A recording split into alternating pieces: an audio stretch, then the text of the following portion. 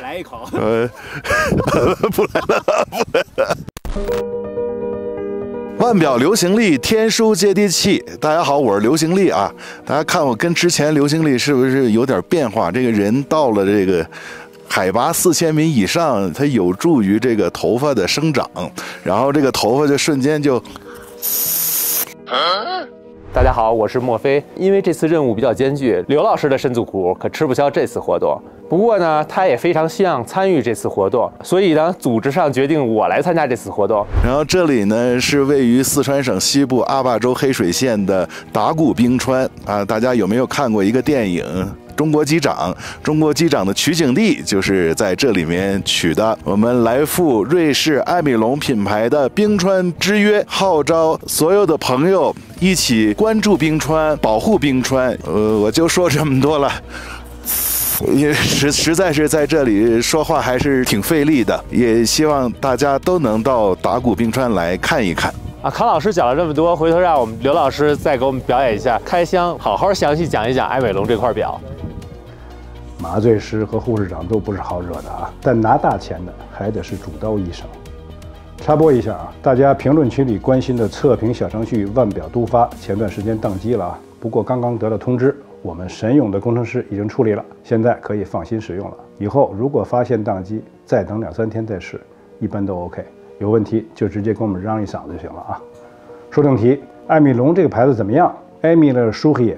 注册在日内瓦，研发基地在梅林、梅汉。别以为这是郊区啊，呃，地理上确实是日内瓦郊区，但更是一个产业基地。有几个大牌，比如 AP 啊、VC 啊、FPJ 啊的外观件的厂都在这儿，而且还是合资的。等会儿说说日内瓦品牌的设计到底是不是经得起推敲。咱们先说这外观啊，艾米龙的冰封系列大三针款，整体式设计，当下有货。表壳和链带布满复合打磨，表圈啊内圆外六角，刚中带柔，柔中有刚，多件式表壳结构，表冠护肩形成中段表壳的纵向结构，而非单纯的凸起。链带是非常到位的当下有货的设计，或者叫命根的设计啊，它指的是呢表耳之间这个凸起部分。我们考察过很多所谓的整体式设计，其中不乏东施效颦者。这种设计过于依赖表链的中立。而如果把金属链带换成非金属链带的时候，由于中立的缺位，形成了当下无货的效果，很失败的。这个冰封系列大三针款呀，即使是拿掉中立，命根子依然存在。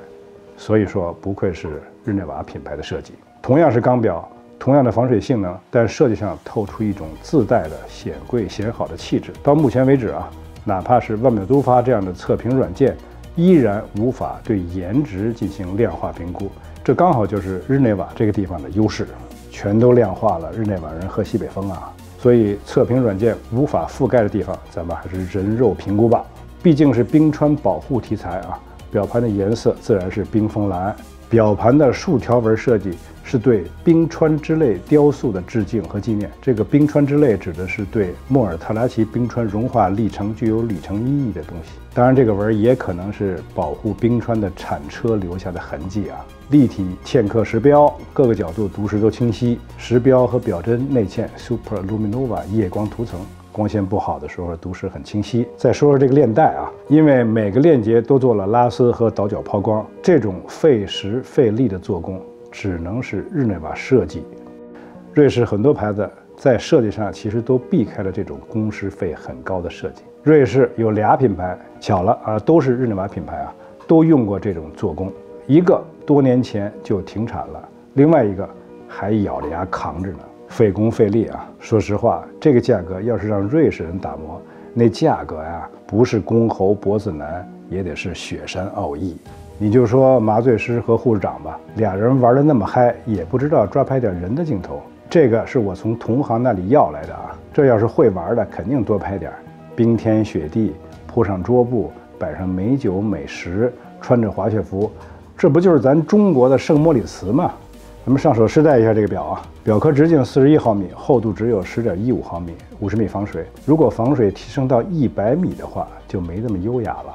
转动手腕。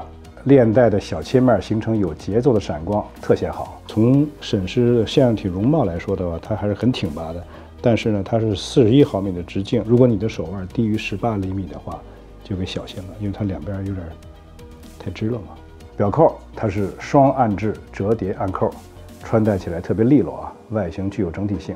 说这机芯啊，艾米龙这个贝斯在日内瓦州的品牌用的是瑞士产的自产机芯，听说这个品牌还在努力实现游丝自产。表背是蓝宝石后背啊，看这机芯的做工还行啊。都知道某项活动啊能给人带来快乐，理性分析之后发现是因为多巴胺这种奖励机制。因为这种理性分析，我们还知道了好多东西都能让人产生多巴胺，都能让你快乐。